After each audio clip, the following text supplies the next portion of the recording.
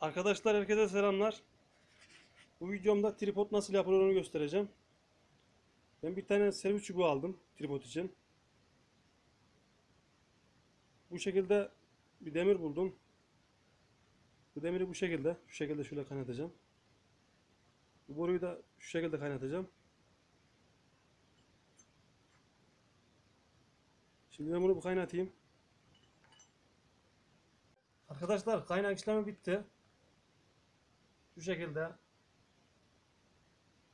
Bu tripodun ayak kısmı. Diğer kız tripodun diğer kısmını da servis çubuğunu takacağım şu şekilde. Servis çubuğu tam bu borunun içine giriyor.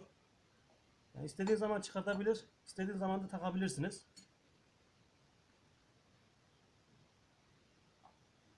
Şu şekilde gayet güzel bir tripod oldu.